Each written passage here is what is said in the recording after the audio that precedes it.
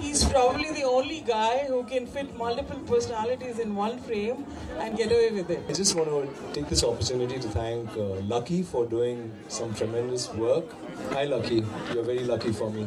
You made me look good, and thank you, Lucky, for that. Thank you for making cinema so beautiful whenever you're on screen.